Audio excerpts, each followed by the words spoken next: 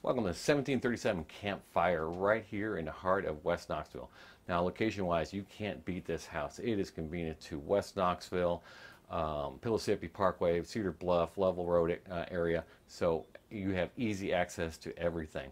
This house is in an established neighborhood. This house was built in 84. The lot is flat which you know a little bit hard to find here in East Tennessee.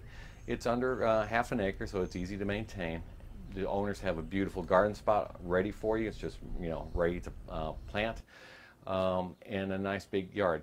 Now there are extra there is extra parking out here, so if you have a RV or something like that, a boat, there's plenty of room for that uh, to go here.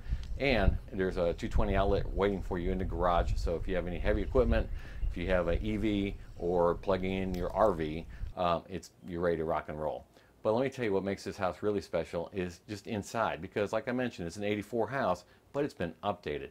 Check out this fabulous kitchen. It looks absolutely gorgeous with the farmhouse sink and you know spin around and right there is the coffee bar and so you can have all your morning set up right there ready to go in its own little space not killing regular counter space up this room here, the kitchen, leads into the dining room area, which leads into an office. So um, the office has a nice uh, patio door out here, so not uh, so there's a lot of light.